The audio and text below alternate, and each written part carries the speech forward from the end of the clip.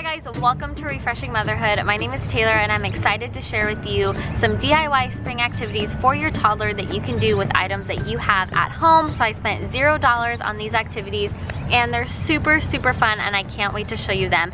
So my daughter Denver just turned 15 months old and these are great activities for just like the younger toddlers, um, one-year-olds, 18-month-olds I think would really like this. Um, but I mean a range of kids. I think this is so much fun. So I'm gonna share with you two activities.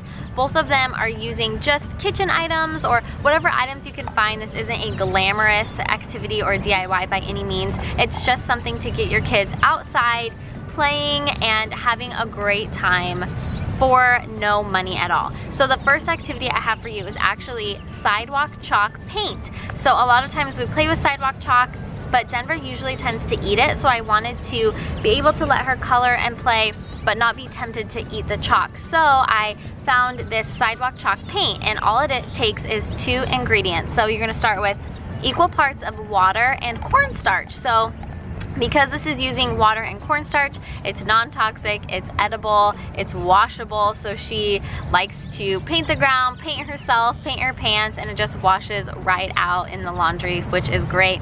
So this is really easy. You just put the water in, put the cornstarch in, and mix it all together. I used two tablespoons each for this, and it kind of is like a little bit thin, but it thickens over time. So as it dries, it gets thick, and it's almost kind of like a glue, but it's nice because you can just wash it away with the hose, and it won't stain your concrete or sidewalk or anything. The next activity that we're going to be doing is a sensory water box.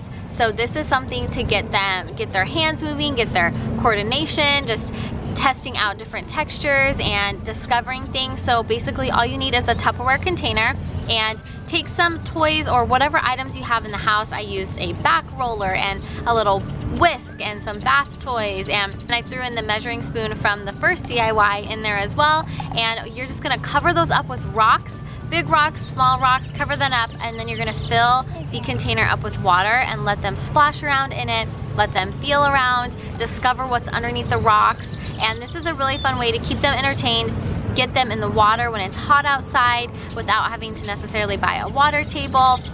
It's just really cheap and easy and fun. All these rocks I found in the backyard. So those are my two springtime activities for you. I hope that you guys enjoyed them. I'm actually doing this video as a collaboration with some other mamas on YouTube. I will have their videos linked down below. And we are all teaming up together to bring you springtime activities for a variety of age groups. And I love these girls so much. So thank you, Kristen, for hosting this collab. Her channel is called The Making of a Mama. And I thought it was a really fun idea to be able to get together and come up with a bunch of different ideas that we can all and we can take these activities from different age groups and tweak them a little bit to fit our kids and it's just fun to be able to hear from other mamas and see what they do to get their kids active and outside. So thank you guys so much for watching this video. If you enjoyed it, give it a thumbs up. And if you're new to my channel, welcome. Be sure to subscribe. I do all kinds of mommy and lifestyle and baby stuff here on Refreshing Motherhood and I would love to have you join the village.